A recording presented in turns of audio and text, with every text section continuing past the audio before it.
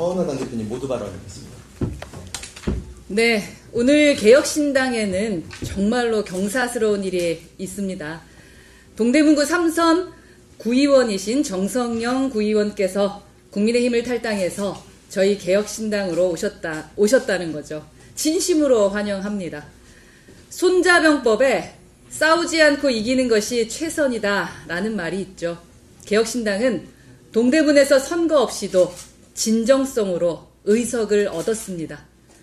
이는 저희가 민심이라는 가장 강력한 무기를 얻었기 때문이다 라고 생각합니다.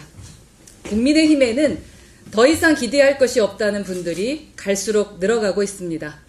지금 벌어지고 있는 균열이 커져서 언젠가는 그 뚝을 무너뜨릴 것이라고 믿습니다. 개혁신당 최고위 시작하겠습니다. 요즘 우리 사회에는 표현의 자유 문제를 심각하게 느끼는 때가 많습니다. 난데없이 오빠가 금기어가 됐습니다. 저희 집에서 저는 남편을 오빠라고 부릅니다. 국민의힘 대변인이 SNS에 자기 배우자를 오빠라고 지칭했다고 대통령을 조롱하는 것이냐, 대변인직에서 사퇴하라 라는 극성 지지자들의 압박이 이어지고 있다고 하죠. 새사, 새삼스럽지는 않습니다. 저도 그곳에서 많이 겪었던 일이니까요. 잘못은 김건희 여사에게 있는데 왜 욕은 남편을 오빠라고 부르는 전국의 수많은 기혼 여성이 먹어야 하는지 모르겠습니다. 문제의 원인을 제공한 김건희 여사가 직접 나서서 해명할 일이 아닌가 싶습니다. 또, 다, 또 다른 일이 하나 있습니다.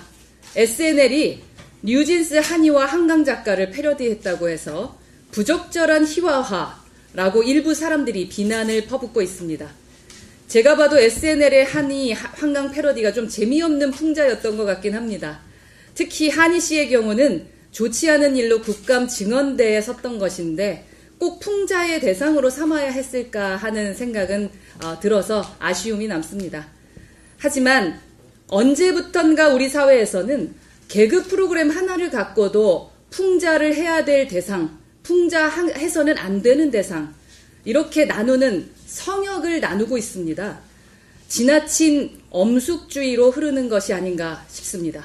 특히 남자를 패러디하는 것은 아무렇지도 않다가 여자를 패러디하면 지나치게 과민 반응을 보이는 것도 문제입니다. 저는 이 표현의 자유가 민주주의의 근간을 이루는 핵심적 가치라고 생각합니다. 표현의 자유가 있어야 원만한 토론과 협의가 가능하고 그래야 민주주의가 실현될 수 있기 때문입니다.